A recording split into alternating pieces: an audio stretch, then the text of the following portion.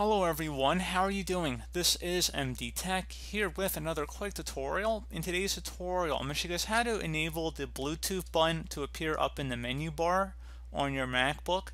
So this should hopefully be a pretty straightforward tutorial and without further ado, let's go ahead and jump right into it.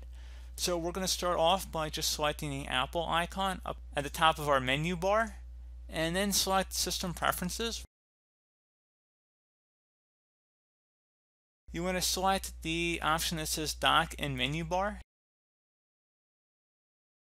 And then select Bluetooth on the left side underneath Control Center. And then check mark where it says Show in Menu Bar. You may have to give it a moment here.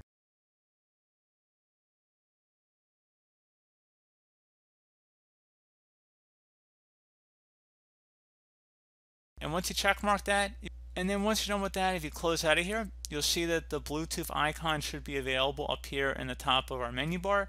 Bluetooth is not currently connected, but you can see this button is right here.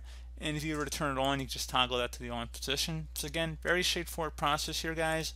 Do hope that I was able to help you out, and I do look forward to catching you all in the next tutorial. Goodbye.